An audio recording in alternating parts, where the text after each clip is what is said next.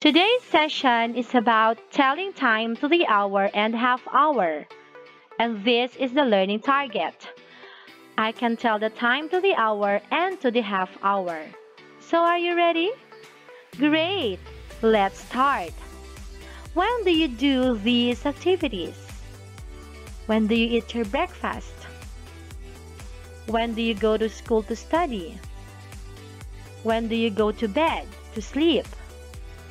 Alright, so look around in the house.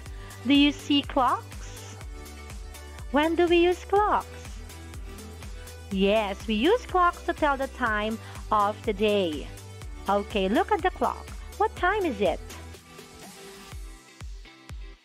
What do you see on the clock's face and what are they for? Okay, so the arrow is pointing at the red strip. That is the minute hand. That's the long hand, as they say. And the next arrow is pointing at the blue strip. That's the hour hand or the short hand. Okay, let us tell the time. Can you tell me the time? Yes, it's 3 o'clock. Okay, first, when you read the time, you look at the short hand. That's the hour hand, so it's pointing at 3. And the next is the minute hand. It's pointing at 12 we don't say 3, 12, right? So, when the minute hand is at 12, read the time as o'clock. Alright? It's o'clock. By the way, when the minute hand is 1, is at 1, it's 5. If it's at 2, it's 10. If it's at 3, it's 15, and so on until 11. It's 55 because you skip count by 5.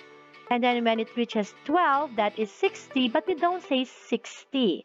We say o'clock. So remember, it's not 312, it's not also 360, but it's 3 o'clock. Alright? Okay. Now, tell the time. Bob and Liz will tell the time. Bob said, It is 12 o'clock. Liz said, No, it's 1 o'clock. Who is correct?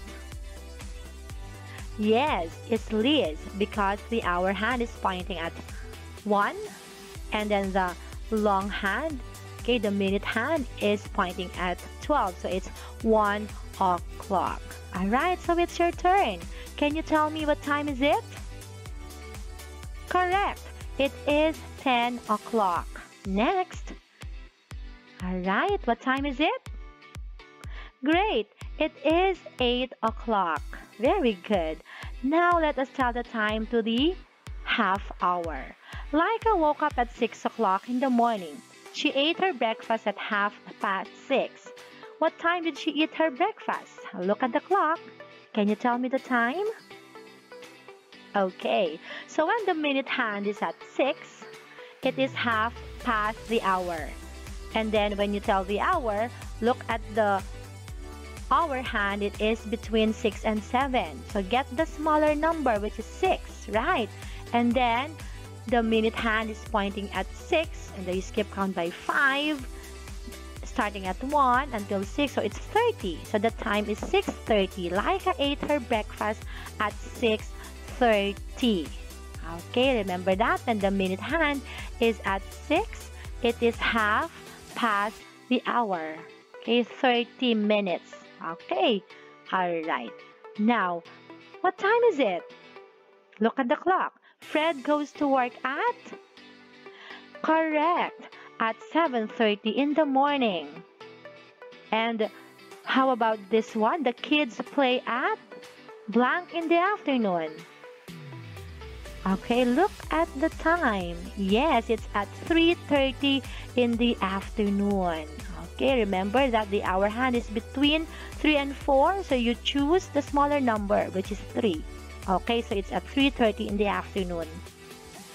What time is it? Lena reads her books at blank in the evening.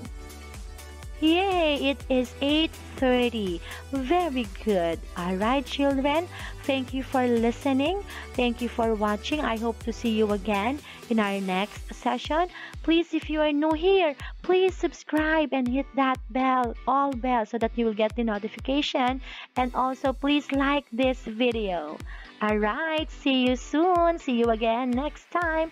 God bless you all.